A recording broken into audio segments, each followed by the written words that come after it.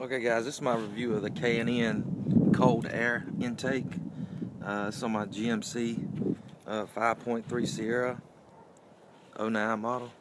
I guess I've had this uh, air filter on here for about 3,000 miles and uh, so far I like it. The only thing I don't like about it is how they have the the mass airflow connector uh, looks like they should have put it on the other side because the wire is uh, kind of stretches it to pull it around and plug it in. But other than that, uh, it's a pretty good system.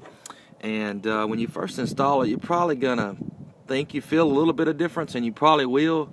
But in order to get uh, the maximum potential out of this, you're gonna have to get a tune.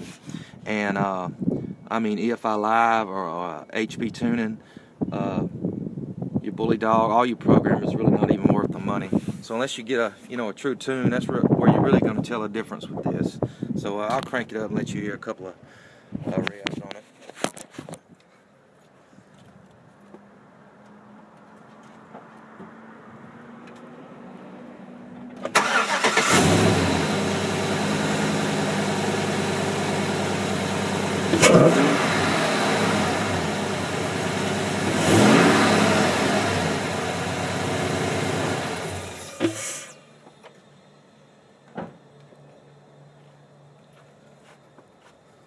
Once again, guys, thanks for uh, checking out my video. Subscribe to my uh, channel, All Lines Lab 2, and uh, that's my review of the uh, K&N uh, cold air intake.